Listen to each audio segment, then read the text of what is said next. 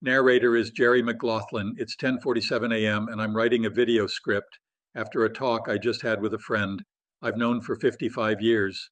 We'll call him Jimmy. Once again, I tried and failed to get him to say a simply prayer of salvation.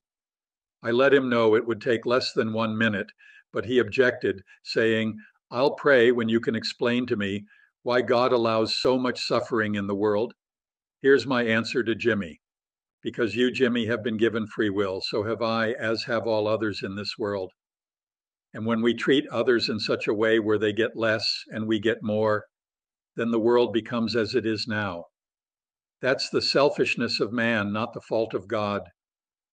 In a better world, in a world to come, it will not be like this, and that world is forever. Today's sufferings are not even here for a blink of an eye compared to eternity. It's not even a in prick of pain compared to eternal bliss. God doesn't care so much about what our flesh goes through. He cares what our spirit learns from these experiences. Therefore, Jimmy, do what is right and risk the consequences. Do to others as you wish others to do unto you.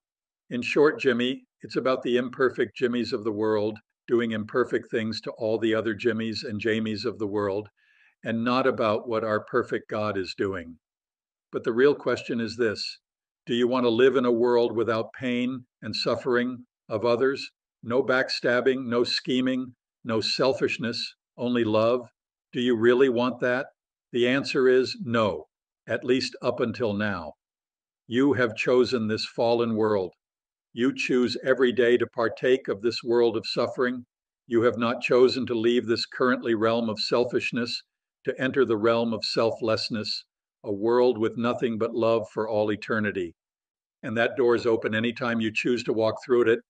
But you must choose to leave the world of man's inhumanity to man.